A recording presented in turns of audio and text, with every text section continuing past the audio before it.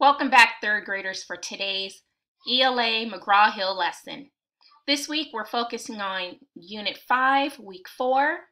Your passage for today, Dolores Huerta, Growing Up Strong. So there's several things we need to learn today. First of is the genre. And a genre is the type of passage or story. So the genre for today is biography and you may be wondering, well, what is a biography? A biography is a true story about a real person's life. It is usually written by another person. Biography. Written about someone's life, but told by someone else. So there are some text features we need to that are common in most biographies. Some of those are timelines, photographs, and captions. For today's lesson, we're going to focus on timelines and captions. So let's move on. So what we need to do right now is identify features that tell you that Dolores Huerta, Growing Up Strong, is a biography. So as you can see, I have a heading here and I already have a Photograph. Those are text features that are common in nonfiction. Biography is a nonfiction text. So what are some text features that we see besides the photograph and the heading? We see, circled in green, the caption. And a caption tells about a photograph. It gives information that is not included in the text. So we're not going to find this information here where it says Dolores Huerta speaks out for farm workers at a rally in 1969. That information is not here in these three paragraphs. Okay, there is another feature besides the caption I told you we were going to focus on today. Do you remember? That's a timeline, and that's below. And this timeline is on pages 378 and 379. So what's a timeline? A timeline shows the time order in which important dates and events happened. So, looking at the timeline that you see on your screen, in 1998, Dolores, this timeline is about Dolores, Dolores earned a Human Rights Award from President Clinton. Now let's practice. So, it's going to be your turn. As you listen to the passage again today, I want you to look at the timeline on pages 378 and 379. And here's the question I want you to try to answer. And it is, in what year did Dolores Huerta meet Cesar Chavez? What year did she meet him? You're going to need to look at your timeline, and it's not featured here. So think about that as you practice biographies in your packet, your practice packet, I want you to do page 236. Again, 236. And you're looking at features for genre for biographies. Remember, we've covered heading, photograph, and today we focused on captions and timelines. So give it a try. Let's move on.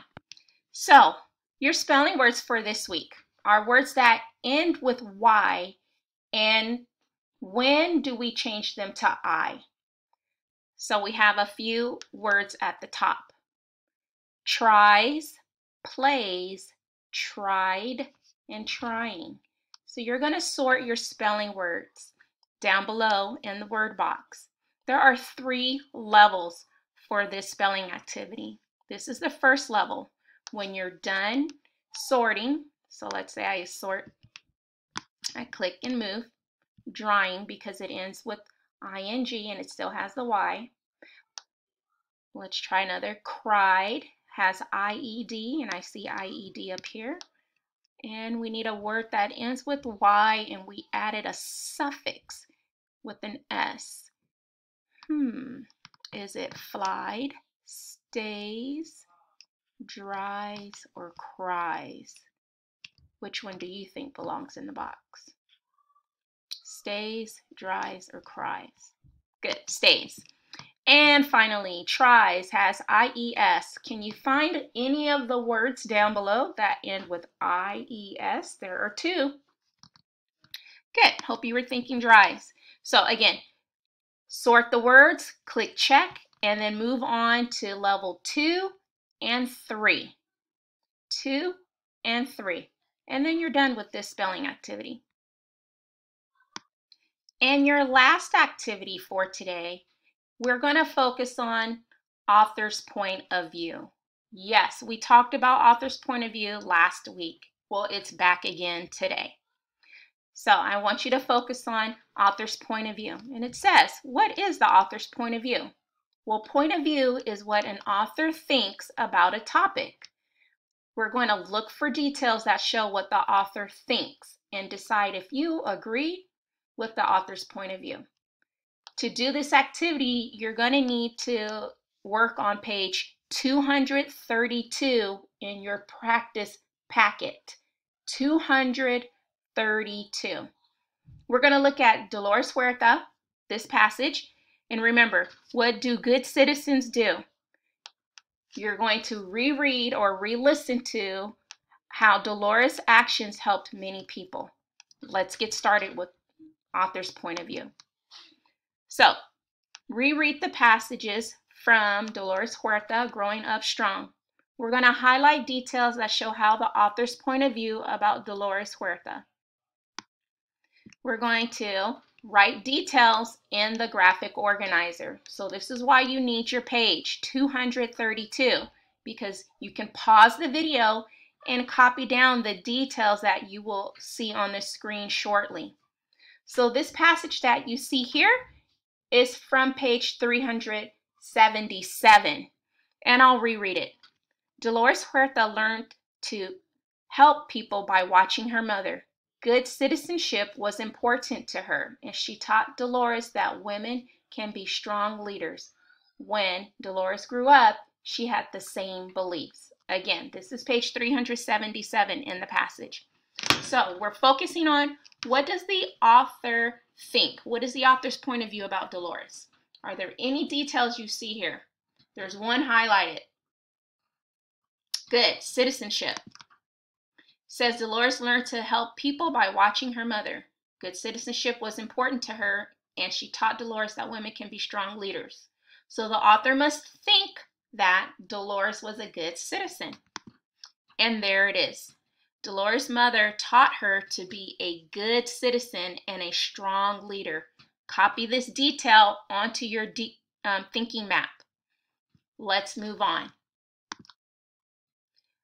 Again, another uh, passage from your book, and it's page 378. And the heading here is Dolores Huerta, Growing Up Strong. And this passage is a, from the section Dolores goes to school. So, what we have highlighted, trying to help the children was a daring thing for Dolores to do. The other teachers did not agree with her ideas. Dolores risked a lot, but her beliefs did not waver.